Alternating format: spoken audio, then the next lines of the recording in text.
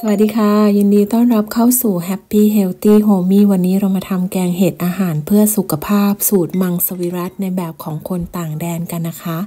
ไม่มีใบยะนางแต่ว่ามีคอโรฟิลแบบเต็มๆเลยค่ะ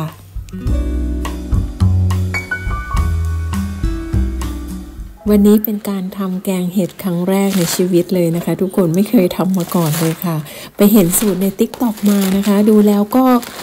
ทำไม่ยากแถมวัตถุดิบก็ดีกับสุขภาพทั้งนั้นเลยนะคะ ก็เลยลองทำดูแล้วก็นำมาแชร์ต่อกับเพื่อนๆนะคะสำหรับวัตถุดิบเพื่อนๆก็สามารถหาใกล้เคียงเอาตามที่เรามีได้นะคะ วันนี้เราไปเจอเห็ดนางฟ้าหรือว่าเห็ดนางรมอันนี้ไม่แน่ใจเหมือนกันเนาะที่คอสโก้เขามีขาย เพิ่งเคยเจอครั้งแรกเลยนะคะ ก็เลยซื้อมา 1 กล่องค่ะ ก็ 200 กว่าบาทนะคะ กล่องนี้ แล้วก็จะมีบวบซูกินี่นะคะ 1 ลูก แกงเห็ดใส่บวบเนี่ยมันเป็นอะไรที่เข้ากันมาก ๆ เลยนะคะแล้วก็หั่นบวบลงไป 1 ลูกค่ะ แล้วก็แช่น้ำไว้ก่อนนะคะสำหรับอันนี้คือ butternut นะคะ ทุกคน ลักษณะผิวสัมผัสจะคล้ายๆ ฟักทองนะคะ เพราะฉะนั้นถ้าเกิดใครมีฟักทองก็สามารถใช้ฟักทองแทนได้นะคะ เพิ่มสีสัน เพิ่มรสชาติ แล้วก็เพิ่มประโยชน์ให้กับแกงเห็ดของเราค่ะสำหรับประโยชน์ของ butternut นะคะ ก็คือช่วยฟื้นฟูสภาพผิวนะคะ เหมาะกับคนที่ลดน้ำหนักนะคะ เพราะว่ามีแคลอรี่ไขมันต่ำนะคะ แล้วก็มีกากใยอาหารสูง ช่วยลดคอเลสเตอรอลมีวิตามิน A C แล้วก็ B6 แคลเซียมด้วยนะคะคล้ายๆฟักทองนะคะ มีเบต้าแคโรทีนสำหรับเครื่องแกงเราใช้เท่าที่เรามีนะคะ โดยเราจะมีพริกมีกระเทียมแล้วก็มีหอมใหญ่นะคะ ถ้าเกิดใครมีตะไคร้ก็สามารถใส่ตะไคร้ลงไปด้วยได้นะคะ พอดีวันนี้เราไม่มี และหอมถ้าเกิดใครมีหอมแดง หัวเล็กๆ ก็สามารถใช้หอมแดงหัวเล็กๆ ได้ค่ะ เรามีเป็น หอมใหญ่ลูกโตๆนะคะ แล้วก็ใช้แบบที่เรามีนะคะสำหรับใบย่านางเราไม่มีนะคะ วันนี้เราก็ใช้เป็นผักโขมหรือว่าผักสเปนิชนะคะ เราซื้อมา 1 กล่อง 500 กรัม วันนี้เราใช้ไปครึ่งกล่องนะคะ ก็ประมาณ250 กรัมนะคะ หรือว่า 2 ขีดครึ่งนั่นเองนะคะนำมาใส่โถปั่น ใส่น้ำสะอาดลงไป 1 ลิตรนะคะ แล้วก็ปั่นให้ละเอียดดีเลยนะคะ อันนี้เราใช้แทนใบย่านางค่ะ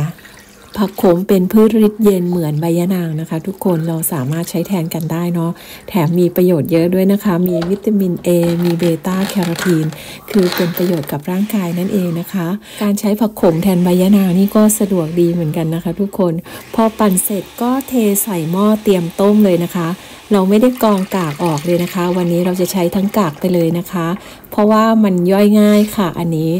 ใส่ในหม้อลงไปแล้วก็ใส่เครื่องแกงของเราลงไปนะคะ หลังจากนั้นก็ใส่ butternut ลงไปเลยนะคะ โดยไม่ต้องรอให้น้ำเดือดนะคะ ใส่ butternut ใส่บวบลงไป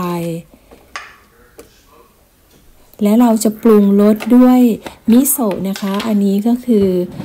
เป็นเต้าเจี้ยวญี่ปุ่นนะคะ มันให้รสชาติเค็มๆ นัวๆ แล้วก็มีประโยชน์ด้วยเนาะ เราใส่มิโซะลงไป 1 ช้อนโต๊ะค่ะ แล้วก็คนให้ละลายนะคะ แล้วเราก็เติมซอสวงรสลงไปอีก 1 ช้อนโต๊ะนะคะ หรือว่าเพื่อนๆจะใส่เกลือลงไปนิดหน่อยก็ได้ค่ะ แต่ว่ายังไงก็แล้วแต่ชิมก่อนนะคะทุกคน พอใส่เครื่องปรุงลงไปแล้ว แล้วเดี๋ยวเราก็จะปล่อยให้น้ำแกงของเราเดือดสักครู่หนึ่งนะคะ ให้ตัวบัตเตอร์นัทแล้วก็ให้ตัวบวบเนี่ยเขามีความนิ่มลงเล็กน้อยค่ะ การปรุงรสเนี่ยเพื่อนๆสามารถปรุงรสได้ตามใจชอบเลยนะคะ ใครมีเสน่ห์ปลายจังหวะยังไงก็ปรุงได้เต็มที่นะคะ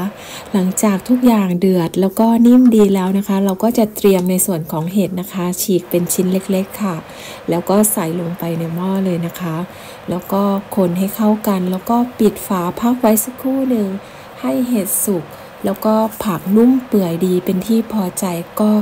เป็นอันเสร็จเรียบร้อยแล้วนะคะ ในขั้นตอนสุดท้ายนี้ใครจะมีใบแมงลัก หรือว่าใบโหระพาก็สามารถใส่ได้นะคะ เพิ่มความหอมแล้วก็เพิ่มประโยชน์ของสมุนไพรเนาะ เสร็จเรียบร้อยแล้วก็ตักเสิร์ฟได้เลยค่ะ เป็นยังไงคะ สีสันของแกงเห็ดของเรา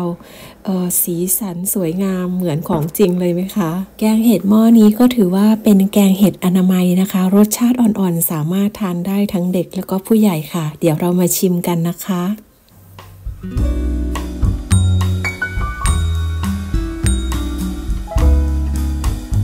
เรียบร้อยค่ะ หน้าตาออกมาดีสุดๆ ภูมิใจมากเลยนะคะ กับแกงเห็ดในวันนี้ค่ะสำหรับรสชาติที่ได้นะคะ ก็คล้ายๆ แกงจืดเหมือนกันนะคะ ทุกคนแต่ว่าก็มีความเผ็ดร้อนของหอมกระเทียมแล้วก็พริก